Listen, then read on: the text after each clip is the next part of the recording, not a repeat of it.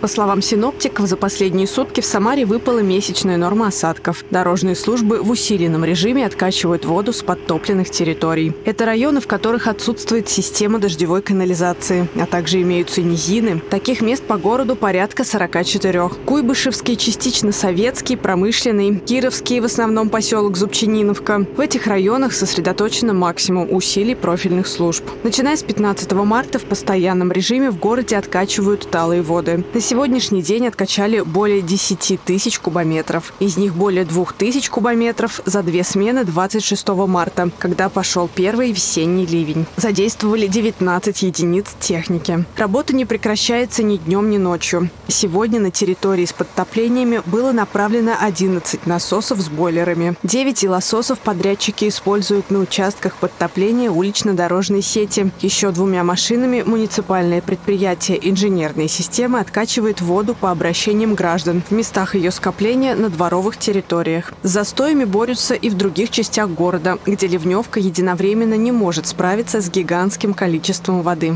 Учитывая то, что потоки воды достаточно сильные, а, вытевший мусор сносит на дождеприемные решетки и забивает их. Поэтому служба проезжала по местам, где формировались за застой воды, очищала эти решетки. При необходимости их просто открывали для обеспечения спуска скопившейся воды. Водители с осторожностью бороздят водное пространство на дорогах Самары. Ездить, конечно, не очень комфортно. Но все равно едешь, то тут, то там встречаются бочки, откачивают воду.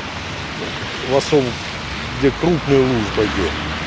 Ну, видно, люди работают, стараются, откачивают. По несколько бочек я видел сегодня в одном месте работали. На сегодняшний день профильные службы откачали более 10 тысяч кубометров дождевых и талых вод. Мониторинг состояния улиц, внутриквартальных проездов, дворов и других объектов продолжается непрерывно. Галина Топилина, Игорь Казановский. События.